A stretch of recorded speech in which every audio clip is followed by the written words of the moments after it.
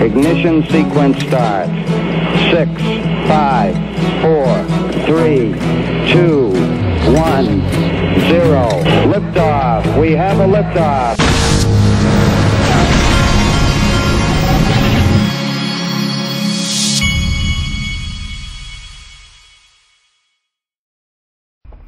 Hey, everybody, this is the digital asset investor. And the other day I was talking to my wife about what kind of, she wanted to open my son, my 16 year old, a bank account. And all I can think of is why open a bank account this day and time? I would rather open him either a Glint account or an Uphold account. I mean, and I'm being serious. Um, in in the Glint account, he can he can buy gold that he can spend. In the Uphold account, he can buy crypto, and they they have like uh, I think they have a tokenized type gold. Uh, if you look, they got precious metals in some areas. They got stocks.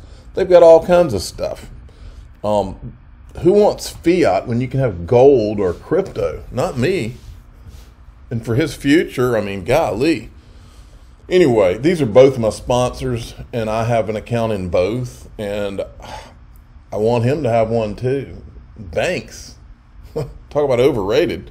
Um, the links to these are in the very top of the description of this video. They're both my sponsors. Now, let's get to something interesting.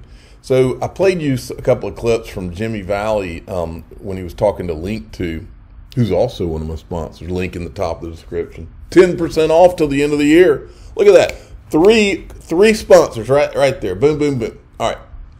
So, but look at this this clip right here is great because Jimmy Vallee is kind of giving you his optimistic thoughts on the end of the year, and I liked it. Listen to this.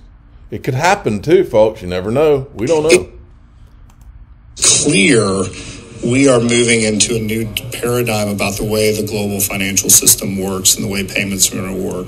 This we are going digital, full stop.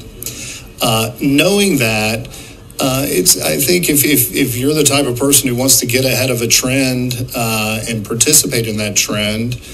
Uh, then then you should you should get involved. I think we're going through a very natural shakeout in the space right now. The, the failure of FTX and these exchanges, uh, the exposure of corruption in the industry had to occur. Uh, and that's a good thing. That's going to be healthy for us going forward. So it's tough to go through. It scares a lot of people. Uh, I understand that. Uh, but you know, at the end, it's going to be a really good thing. We're going to have the real projects uh, that are going to survive through this, and they're going to grow, and they're going to be the Googles, the Amazons, um, and and other types of platforms. You know, just like you know when the internet changed everything. So. Um, you know, enjoy your Christmas. Who knows? Maybe we end up getting a, a Christmas gift here in the next couple of days, and this stuff gets resolved, and we get to uh, to have a really great New Year too. Oh man.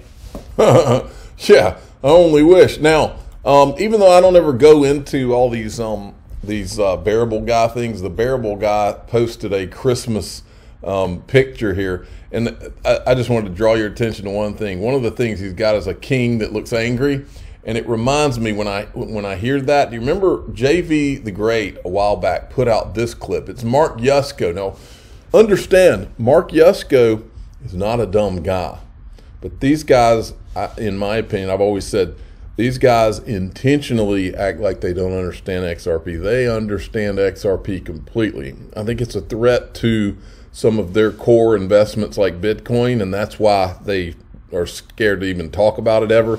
But Mark Yusko, he's like a Duke graduate. He's not a dummy. So when you hear him going on, oh, well, you know, I just need to look into it more. Whatever. He doesn't need to look into anything. But he, he's a thousand percent right on this in that Ripple did go at the king, but I think Ripple wins. Listen to this.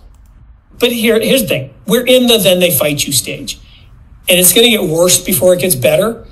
And if you come at the king, you better not miss. And I think that's a little bit what's happened with XRP yeah, here is, missed.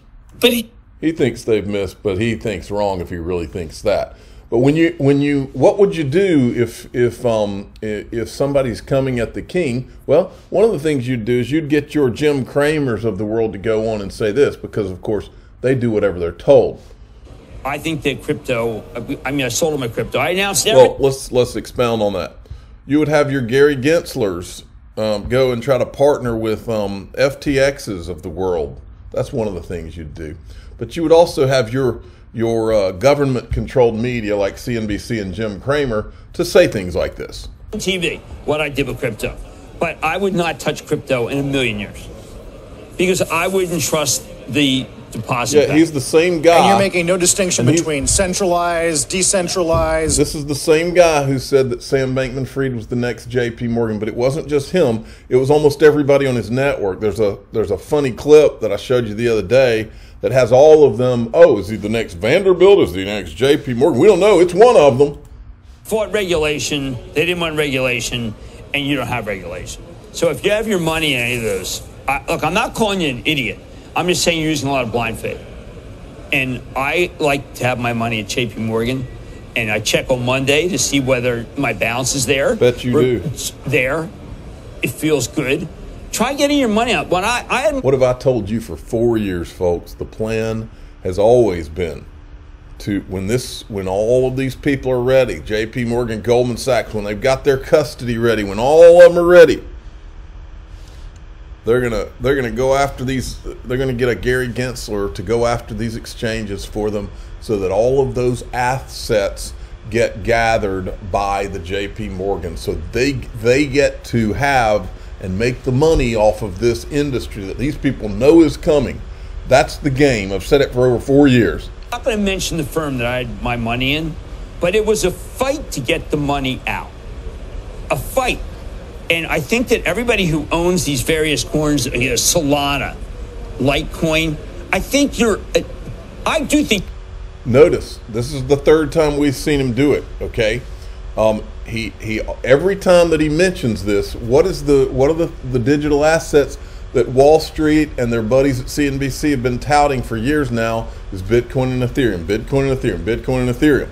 This is the third time in the last month that he's. This is the one time that he did. I don't think he calls out XRP here, but he's called out Litecoin and Solana both times. Okay, with XRP. Did idiot. Okay? I did not go to college to get stupid. These people who own these things should not own them. They shouldn't own them. well, and now we got Gensler. Well, I would agree with him on Litecoin. I've I've always said that Litecoin to me is uh, just.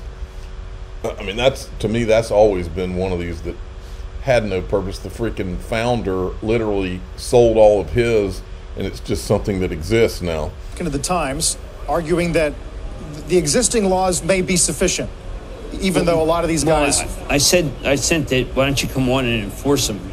I think they need to do a big sweep. Of, they have to stop having people uh, creating money, Carl. It's the, What they need to do is get someone who's honest in as SEC chairman and then start talking about what you need to do. The first thing you do is you get these people who are known and proven liars out of our government. That's the first thing you do. Then you get the media, you get the Jim Cramers of the world who are on record, on video. He's on video saying that when he ran a hedge fund, they would intentionally make the market think something that wasn't true so that he could get his hedge fund to go in the other direction. I mean, this guy is a, these are, these people are awful, awful people. And they're, they're the problem. of money by Cretans. I don't think Cretans should create money and then suck people in. These are I don't think, think Wall Street crooks should be in charge. That's what I don't think. And even the worst NASDAQ stocks. And yet, there we are. We've got them up there, Litecoin. I don't think there should be a revolving door between the SEC, CFTC, Goldman, JP Morgan. I don't think that should be. But Jim Cramer thinks that's great. And you know why he thinks it's great? Because that allows him and all his buddies to be the ones in the loop that find out when something's going to happen before it happens and make money off of it. And that's the fact, Jack. And they know it, but they think it's okay because they look down on you. You're peasants to them. We're all just a bunch of peasants, and uh, they're they're Wall Street. They've had a job at Goldman Sachs and this and that, and you're just peasants to be stepped on and looked down on. You're you're the people that that he um, shorts the stock, and then he makes sure he goes out in the media and makes and creates helps to helps Wall Street to create the perception that they need to be created. That's what his job is, and he knows it. Speaking of lies and liars, uh, Judge Ronnie Abrams steps down from the FTX trial. It's come to the court's attention that the law firm Davis Polk and Wardwell LLP, at which my husband is a partner, advised FTX in 2021 as well as represented parties that may be adverse to FTX and defendant Bankman Fried. So, this this judge rules on Sam Bankman, gets him out on bail, gets him they get to the United States, this judge gets him out on bail so that he can fly first class back home to mommy and daddy's daddy's house. But she never her husband never thought to to go to her before she before she let him off. Husband never thought to go to her and say oh wait my law firm may have been representing ftx so you should recuse yourself. Never thought to do that well if you believe that now actually, this is probably a really good day to buy my igloo in South Georgia because today we happen to have below freezing temperatures. It doesn't happen happen happen much in this part of the world, but just today. But by tomorrow morning, I have a feeling it will be thawed out and you won't have an igloo anymore. But it's a great deal if you believe that this judge did not know when she got this guy out on bail. Then we got this. FBI is now looking at Sam Trabucco. I don't know if I'm saying that name right. Former C- co-CEO of Alameda Research and Nishad Singh, they're not going to get the easy deal that Caroline and Gary Wang are receiving. First ones to squeal, folks. I'm surprised Hinman hasn't squealed yet. Scoop from Eleanor Terrett, SDNY is getting ready to announce more indictments against players with ties to FTX Alameda. I'm told an announcement could be made as soon as Monday. Uh oh. And then there's this on October 5th, 2021, Bankman Fried, FTX, GC Ryne Miller, and then FTX President Brett Harrison went to dinner at a luxury Indian restaurant, Rasika West End, with Dan Berkovitz. Berkovitz went on to become SEC General Counsel, announced his resignation yesterday.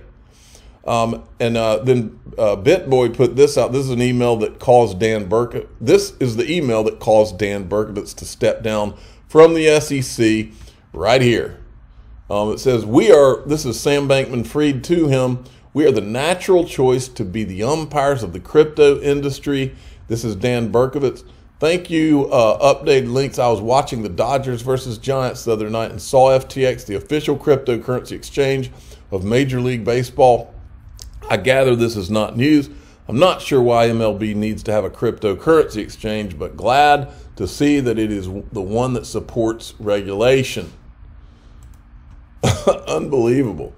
Um, and then Mark Wetjen, remember, he was at the CFTC, and then he, he was the general counsel for um, FTX. Then he deleted his Twitter account once we all started to zero in on this um, and this is Wheezy, uh, August 26th. He emailed CFTC Chair Rostin Behnam concerning an urgent matter pertaining to Ledger X. He gets that meeting the same day at 6 p.m. The very next day, Gary Gensler meets with Mark Wetjen.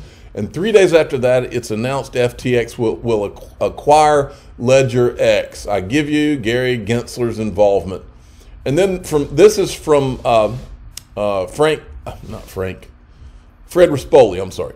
Um, Merry Christmas, SEC. U.S. Postal Service says you received our certified mailing of the Ethereum December, I don't know if that means Ethereum DEC lawsuit against you. You have until February 9th to answer and let us know if you think Ethereum network are securities, but we both know you're going to try and move to dismiss. I'm the digital asset investor. I'm not an investment advisor. This is for entertainment purposes only. Please subscribe, hit the like button, tell your friends and family that Fred Rispoli and his company, I guess, is Hodl Law, is suing the